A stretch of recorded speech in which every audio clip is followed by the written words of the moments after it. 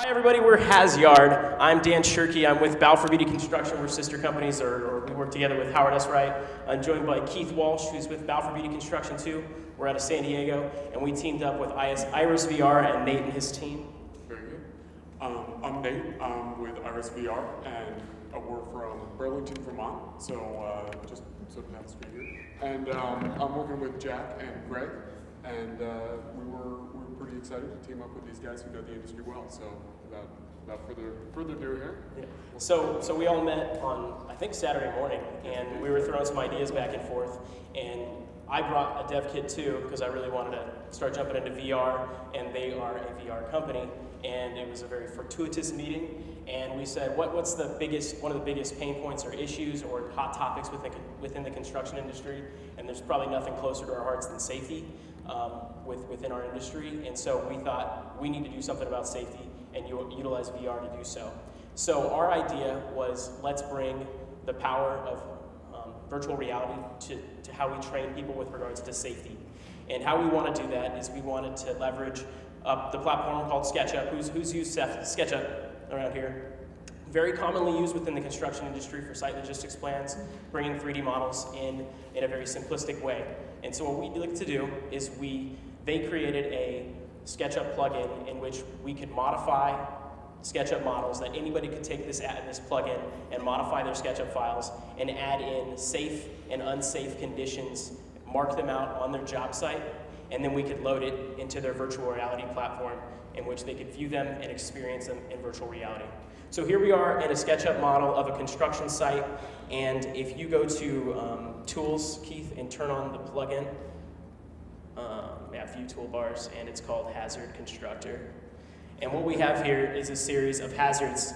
Um, and so we've got uh, a flag, we've got, which is for your job site trailer. In this case, we want to set a cement truck on the ground here, Keith. And you just drop it once, and then now we can move it around the job site. Um, you could imagine loading a vehicle, and we don't. We want to. One of the important things is to not have people near the front and the back of the vehicle where its path of travel is.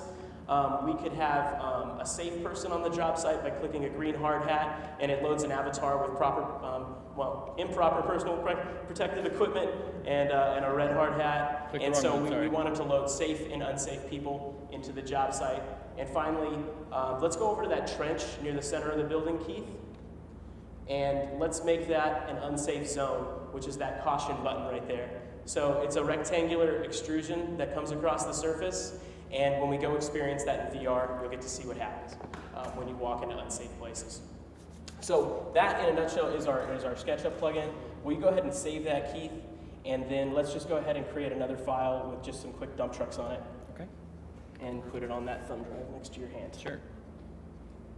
So, sure. So the idea here, um, sort of the idea with, with our software that uh, we created and are working on up in, uh, up in Vermont is we want to make virtual reality accessible using the tools um, that you already use and are familiar with, right? So you don't have to learn Unity or learn a game engine with an entirely new platform to have access to these great 3D um, VR and AR experiences that are coming out now. And that was sort of the, the driving force behind this project as well. Um, we want to make virtual reality and the ability to create your own virtual worlds and virtual simulations um, to, to solve a very important problem like you know creating a safety simulation or tutorial uh, really accessible for anybody using SketchUp. So Keith's just creating another file with like two dump trucks on it, and just save that as save that as a truck dump truck, and then hand it over to. Do you want Jack. to talk a little bit about what your plugin beta does? Sure. Um, so in terms of the technology that's running, excuse me, behind this, we have, uh, thanks. um, the technology that's running behind this, the plugin is just a basic SketchUp plugin. Um, and that takes a couple of pre-built uh, models and you can drag and drop them into any scene in any file. So this will work with any model for any job site that you have already. And then I'm going to pass the microphone off um, to our, our developers over here that did uh, the front end system. Do you want to talk about yours? Yeah, sure. So um, we decided to sort of take advantage of this uh, beta application that we've already been working on, which uh, takes the SketchUp file and brings that into our virtual um, reality environment. Um, so we had to add the functionality of reading the new content created by um, by these hazards because these hazards aren't normal geometry, but they're um, special and we want to um, let the user have more interactivity with them. Um, so what I was working on was the go-between between SketchUp and um, the game engine that we're using, um, Unity. And so that was um, sort of using the SketchUp uh, C API to read in these different hazards and uh, write them in a way that um, they could be loaded into Unity. Just taking Uh, and lastly, I worked with, uh, actually, once these hazards exist in our game engine in Unity, we, we wanted to gamify them so that it would be like a memorable experience that would allow people to, to go through the job site as if it were a video game and uh, accomplish these different objectives. And, and really like remember, you know, if, if you play a video game, you know, you're gonna remember like what works and what doesn't. Uh, and hopefully like this is more of an educational experience than simply reading a training manual or, uh, you know, more inconveniently having to go to the job site in person. Okay, there we go. All right, it's working. We're about to transfer it over and show you the next process. Yeah, so I just wanted to give him a working truck model here, and I swear everything just works slower live. It's just how it happens. Um, but what we're going to move into next is I'm going to wait to plug this in. What's up with this shit? Let's get him plugged in over here. Well, no, we already got the. We're going to do it on my machine. Hold on. All right. So what I'm going to do is I'm going to open up the, uh, and of course my desktop moves around. oh no, it's not it. There it is. Jeez. All right. So here we are. So I'm going to open up their build for their app. Sorry. And uh, and then I'm just going to pull up that SketchUp file for the building. And so what's happening here is it's loading in all the textures and whatnot for the building, and it's um, loading it into their VR plugin. And we need to turn on the Oculus Rift here. Sweet. That's, that worked really well. Now he's got a load bar to his right, and it's loading in the model. You got that? He's got an Xbox 360 controller in front of him. And so one of the things we have to do every single time a new person steps onto our job site is we have to orient them to the project. And it's a very repetitive thing because we have hundreds and hundreds of new workers coming on our job site. And it's, it's an important thing that we take seriously because conditions on the job site change constantly. Well, a lot of project teams already use Google SketchUp to simulate their site utilization plans for their buildings. So you can conceivably keep it up to date and load them into the latest virtual reality instance of their project and brief them on the site conditions without having to even expose an unsafe person um, to a busy job site. And you can also expose them to unique situations that might not be going on yet for a project or even practice uh, a maneuver that's going to occur on the job uh, in virtual reality. So um, if you look around you, Keith, uh, on the left, he's got a green zone, which is the evacuation zone for the project, and then there's even a, a cement truck there. And then to the right, if, as you keep turning to the right, you're going to see a job site trailer and also a guy with a hard hat. And so we're going to go over to that guy with the hard hat as soon as this is done loading, and it's going to talk about this mini game we created within the within the simulator, where as somebody's going through the job site, we wanted to not only make this a a very good teaching experience for someone going through the job site, but we wanted to make it memorable and fun.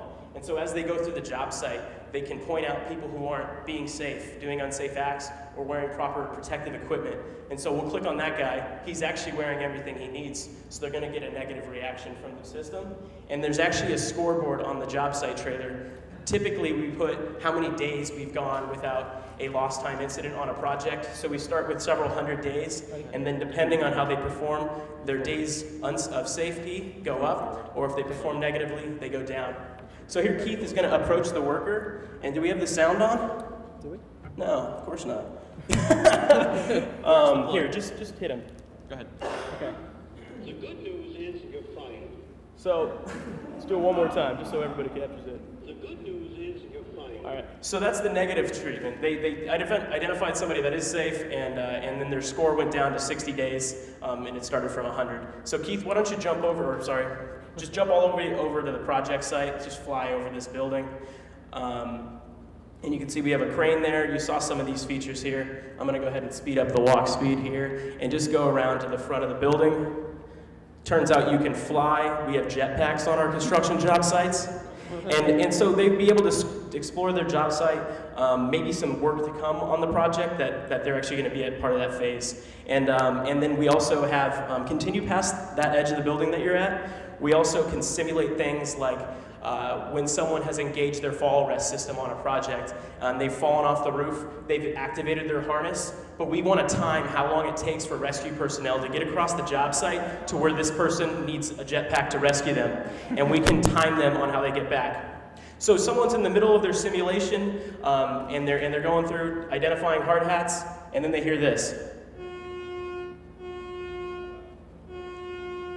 Three horn blast. that's something we should all be familiar with. That means evacuate the job site. Maybe there's a gas leak, anything like that. Then it's a race against time to navigate back to our muster point on the project. Oh, and he's frantically using the jet, engaging, and he's going to land like a paratrooper in the middle of a stadium onto that platform. And he hears a little trigger that says safe. And uh, if you do that within the time, um, you get positive score.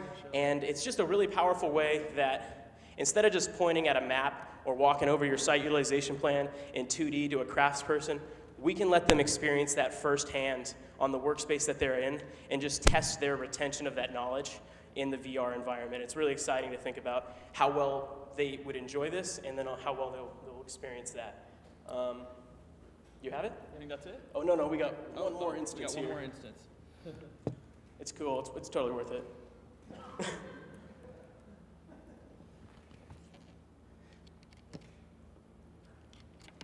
Oh, we need this. Do you have sound? I need the aux. Oh, yeah. We don't need the. Uh, Microphone? yeah. All right. So, two minutes? Oh, we're good.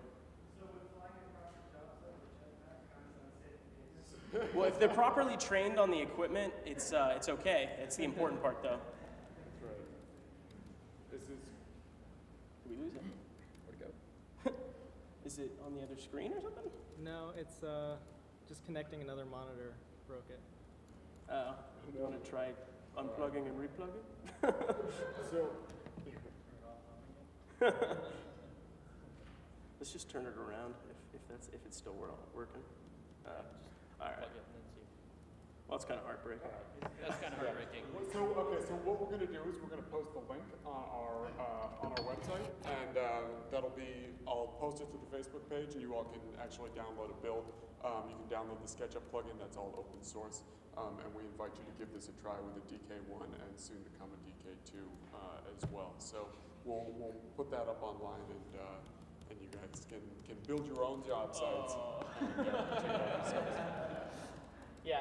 Uh, so anyway, what was going to happen is he was going to approach the dump truck, and uh, Kenny Log- Loggins' danger zone was going to come on um, to give them feedback that they are in fact in the danger zone, and they should call Kenny Loggins. Uh, but ultimately, let's make people safer using VR, um, and uh, there's a lot of potential there. And thank you for your time.